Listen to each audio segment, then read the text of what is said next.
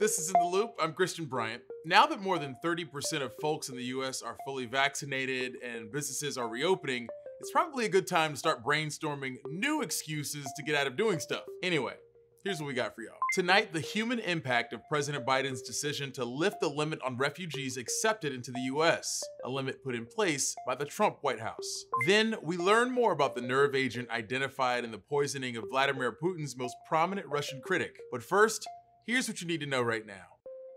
The president laid out a new vaccine target today. Our goal by July 4th is to have 70% of adult Americans with at least one shot and 160 million Americans fully vaccinated. Across the U.S., COVID cases are dropping and states are reopening. Today, Chicago became the latest city to update its plan to drop restrictions on gatherings and return to normalcy, eyeing July 4th as a full reopening date. Every day that our COVID 19 metrics continue to tick downward brings us a day closer uh, to being able to put this pandemic in the rearview mirror. New York and New Jersey announced plans to fully reopen later this month. Capacity restrictions in both states are set to expire in a couple of weeks. New York's 24 7 subway service is also set to make a return. To try and incentivize more people to get the vaccine, New Jersey created a shot and a beer program your COVID 19 shot record will get you a free beer at participating breweries this month. But as the US gets a glimpse of at least something closer to normalcy, other parts of the world are in full blown crisis mode. Due to the devastating surge in India, the Biden administration suspended most travel to and from there. The travel ban officially went into effect today. India's health ministry says the country reported more than 350,000 new cases and nearly 3,500 deaths in just 24 hours. Health experts believe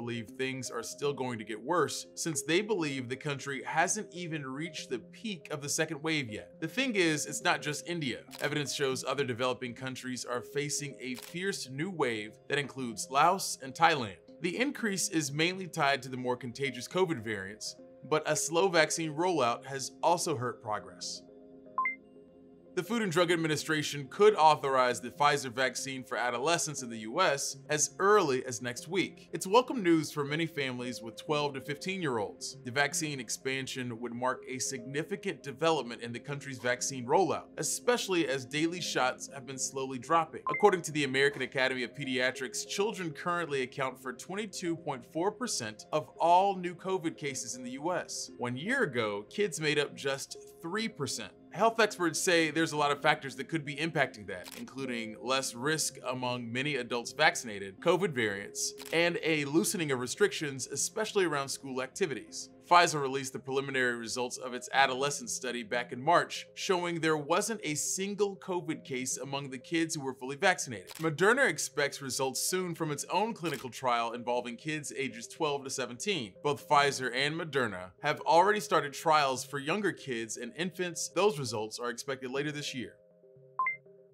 The National Oceanic and Atmospheric Administration released its official calculations for the average temperature of the country, and it's pretty hot. The 30 year average temperature for the lower 48 states climbed to a record high of 53.3 degrees Fahrenheit. That's one degree hotter than the average just 20 years ago. It's also expected to get wetter in the eastern and central parts of the nation, while getting considerably drier in the west. Since 1930, this data has been released every decade, so nine times total. All but two of those releases have shown average temps warming up.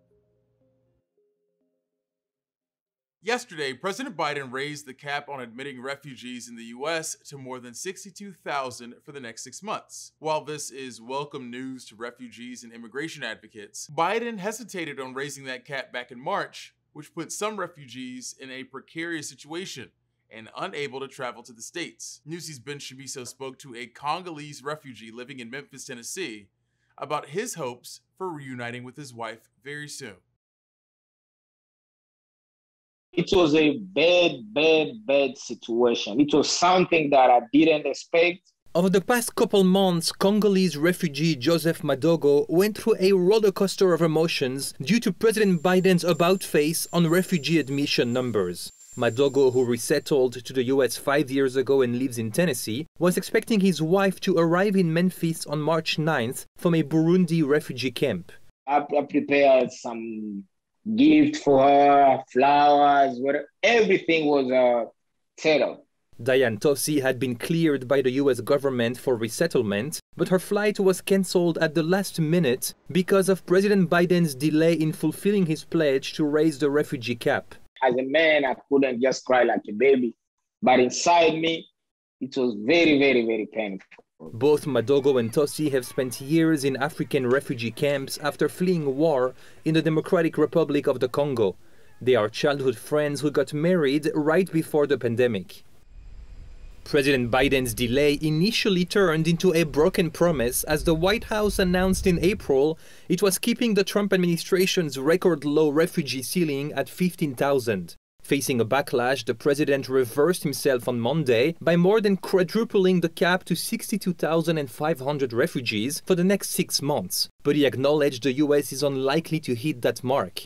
Critics say his reversal is about the left and a distraction from the border crisis, but advocates rejoiced. It sends a clear signal to the world that we are back. Former Homeland Security official Elizabeth Newman says admitting more refugees will give the US more credibility on the world stage and will reduce the risk that displaced people in refugee camps become radicalized. We can reduce that vulnerability if we just speed up the system. It doesn't take, it shouldn't take 10 years to resolve a case. As for Madogo, he's once more hopeful he'll soon reunite with his wife.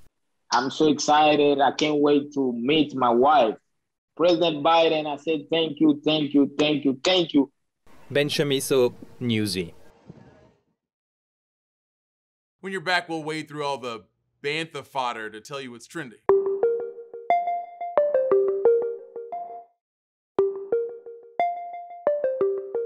We here at ITL are friends of the Force. I woke up with this tingly little midichlorian feeling all around me today. Since we all hear a lot about May the 4th these days, I'll try to hit this first one in less time than it took Han to do the Kessel Run. And yeah, I know a parsec is a unit of length, not time. Yes, Star Wars fans, it's that time again. Then man your ships, and may the Force be with you. There's perhaps no other franchise that can wring an entire holiday out of one iconic line of dialogue. May 4th or May the 4th be with you has been the unofficial Star Wars Day for decades, celebrated by fans and the franchise alike. These days, it's got some corporate promotional backing. This year's Star Wars Day features the premiere of a new animated series, The Bad Batch, on Disney Plus, which follows a group of renegade clone soldiers in the aftermath of the Clone Wars. It's kind of a follow-up to the well-liked Clone Wars series, which was done by the same studio. Disney is also drawing on its broader portfolio to celebrate Star Wars Day. The Simpsons is releasing a short crossover episode, and ESPN broadcasters are being forced to dress up like Star Wars characters for tonight's Astros Yankees game. Leave it to Disney to take cross promotion to its fullest potential. News of the split between Microsoft founder Bill Gates and philanthropist Melinda Gates has sparked a lot of social media speculation about what the divorce will mean for the couple and for their sizable fortune. Bill and Melinda Gates run one of the largest charity foundations in the world, and Bill Gates is still one of the world's richest people at a whopping $130 billion. The couple said they'd continue to work together at their foundation, but haven't offered any details yet. Billionaire divorces can involve eye-watering sums of money. The 2019 divorce between Amazon CEO Jeff Bezos and Mackenzie Scott gave Scott $38 billion, including a 4% stake in Amazon. Scott has since donated over $6 billion of her personal wealth to charity. With all that's going on in the world right now, it's important to take a step back and enjoy the little pleasures of life. Like this photo of President Biden visiting former President Jimmy Carter. The Carter Foundation released this image of the first couple visiting the Carters and, well, it raises so many questions.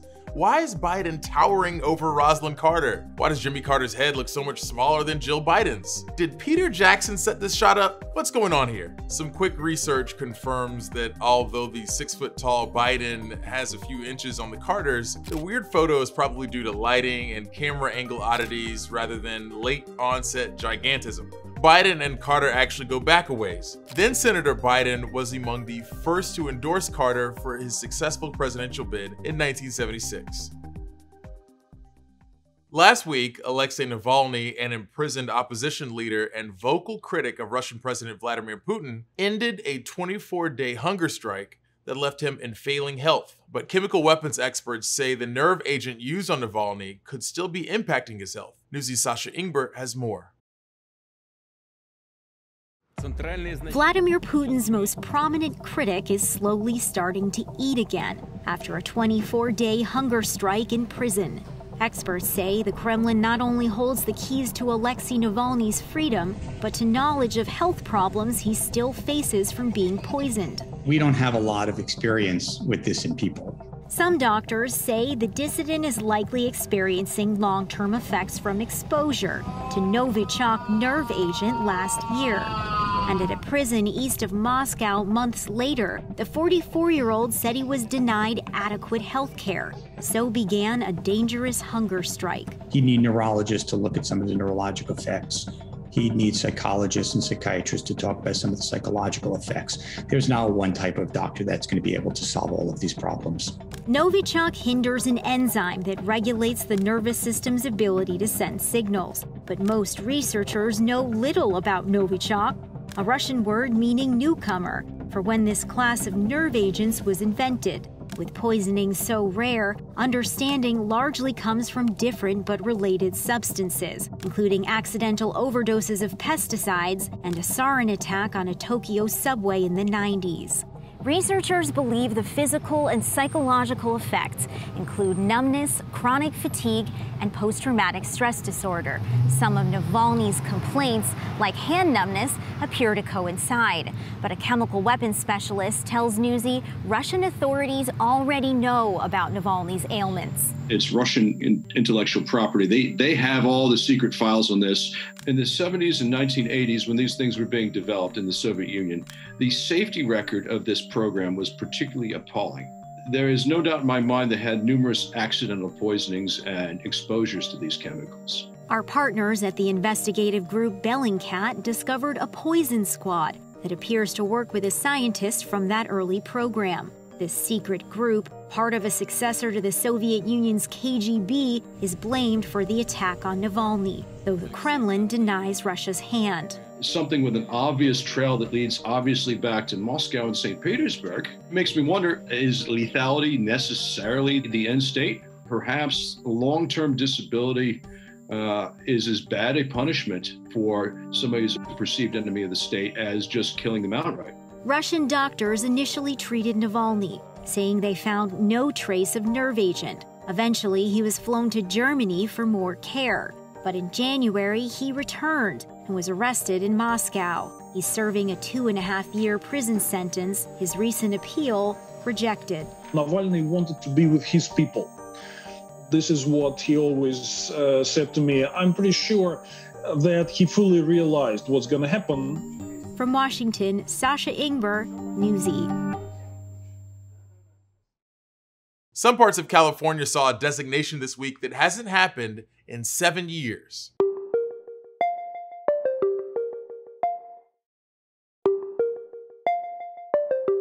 The National Weather Service issued a red flag warning for parts of California this week, which is the first time it's happened this early in the year since 2014. It's a sign of dangerous fire conditions that could lead to the kind of devastating wildfires seen across the western US. They're so deadly that they can send smoke all the way over to Europe. As national reporter Stephanie Stone tells us, wildfires can impact the air quality for the entire continent. These are satellite images from NASA. It shows the smoke thousands of miles from the fire. That red you see, NASA describes that as aerosols, a combination of particles which carry bad things into the air and into your lungs. All the things that are burning trees, grass, brush, homes turned into soot and absorbed by us. This pollution, nobody knows how badly it will get affected, but if we extrapolate the data from our previous uh, air quality, it's not good. I think the long term side effect we will see many, many years down the line. Dr. Malik Baz is the medical director for Baz Allergy and Sinus Center in Central California. They've got 13 locations, and all of them are busy, as Central California is essentially a big bowl surrounded by mountains which trap pollution over the valley. Air quality is always an issue for this part of the state, and fires, multiply the problem. People who have got a respiratory problem, whether allergy, asthma, sinus problem, uh, any time the air quality goes bad, they get their symptoms get worse and that affects them. But with this air quality, it doesn't matter whether you've got any respiratory problems or not, everybody's getting affected. It's bad in other western cities too. This is really an unprecedented uh, wildfire season that we're, ha- that we're having here in, in 2020. We have fires across most of the states in the western United States, especially in Washington, Oregon, California, um, the Seattle area, Portland. I think Portland has some of the worst air quality in the in the world right now, which is pretty shocking because normally they have pretty good air quality. John Klassen is the Director of Air Quality Science and Planning for San Joaquin Valley Air Pollution and Control District. It's his job to monitor and improve air quality and help reduce emissions. Those sorts of emissions can come off of wildfires or different industrial sources, um, the, the burning of different material. And the challenge with that and the health challenges is because it's so small, it can get deep inside of your lungs, it can get into your bloodstream, cause damage to inter- internal organs. A good air quality is anywhere from 0 to 50. Some of the cities next to the fires are seeing numbers in the 4 and 500s. California, Klassen says, has had fires burn 3.4 million acres. That's larger than the state of Connecticut as a whole. And that smoke from the west isn't just staying local. Just that enormous amount of emissions that are going up into the atmosphere they can get caught up in transport flow from the from the um, Pacific Ocean over to the Atlantic, so it can, it can slowly kind of cross over the continent and, and be able to, to reach different areas of the country, which is what we're trying what we're starting to observe right now. Which means they say use the see and smell rule and watch the air quality index wherever you are. Sometimes that air can make you feel bad, and doctors advise you watch your symptoms. Coughing, wheezing, difficulty breathing, uh, irritation of your eyeballs, uh, sneezing, itching, nasal congestion, headaches. Dr. Baz says these are also the symptoms of COVID, which makes some problems hard to diagnose. If your air quality isn't good, he suggests staying in, avoiding strenuous exercise outside, changing the filters in your home and car, and keeping up on your medications and hydration. And while fires aren't forever, we are unfortunately just starting a season that's shaping up to be unprecedented, just like 2020. The concern here is we are kind of in the middle of wildfire season. Uh, the past few years, wildfire season has ended more in the month of November. And so here we are in September. We could have a couple months left to go with these fires. I'm Stephanie Stone, reporting. If you haven't done so already, feel free to holler at us on Twitter using the hashtag Newsy in the Loop. And hollering is just an expression, okay? If you start sending me messages in all caps, I will report you.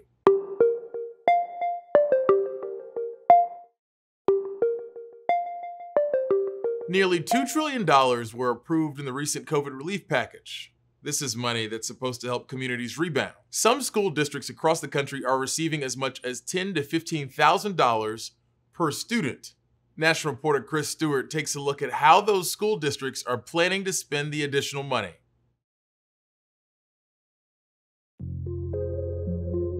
You won't find many places like Hamtramck, Michigan.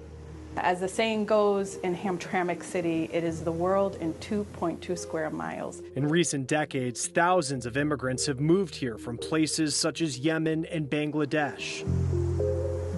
In our school system, we have 19 languages overall. Superintendent Jaleelah Hassan Ahmed says while her students are a beautiful example of diversity, her district faces challenges that shouldn't be found in the United States. Having a school district that's high poverty, a community that's high poverty, comes with a lot of challenges. The average American school is about 44 years old. The building Superintendent Ahmed brought us to is more than twice as old. She says for the last 30 years, this school has used portable trailers as classrooms to ease overcrowding. The trailers started out as temporary, but they've never left because the building, which houses an elementary and middle school, isn't big enough. This is not the perfect environment that anyone would want their children to be in. You know, in a gated one room classroom, this is not America. This is not education in America. But her district is expecting a more than $35 million boost through President Biden's COVID relief plan, which breaks down to about $15,000 per student. What does that mean when you hear 15,000 per student here? well, as I shared, I wanted to cry. You know, just looking at 35 million dollars, I I had a mix of emotions. On average, school districts are expecting to see less than $4,000 per student. But the amounts are larger in many school districts with higher rates of students who live in poverty, according to nonprofit education group Chalkbeat. You can't say to school districts to go back to in person when you know that you failed them, basically. You failed them for, for all these years by not updating the deplorable uh, facilities. Superintendent Ahmed says she can't use the money to buy a new building, but she can use it to update her district's schools. Some are so old they're designated historical landmarks. You note that this window is our rescue window, and pull this up. Like the windows in middle school teacher Patty Irwin's room. This is the extent of being able to open the window. This building is 100 years old and it needs massive investment that our community can't support. And it's not that they don't care about education and it's not that they don't want the best. They don't have the money. It's hard to see that it took this crisis, this pandemic, to help them realize, you know, the deficit that we were in when it came to providing the infrastructure that our students are owed. As we measure the first 100 days of a new administration, Superintendent Ahmed says we need to look to the next 100, past this pandemic, because when it comes to education, there is so much work to be done. I'm strong about the pronoun use of we educators, politicians, parents, students, everyone needs to be at the table to discuss, reflect on what has occurred, practices uh, things that maybe we could have done better, and then looking to see how can we better improve the field of education altogether. I'm Chris Stewart reporting. That's it for us, gang. As always, thanks for watching. We'll be back tomorrow with more in the loop. Same time, same place. Top stories for Newsy headed your way right now.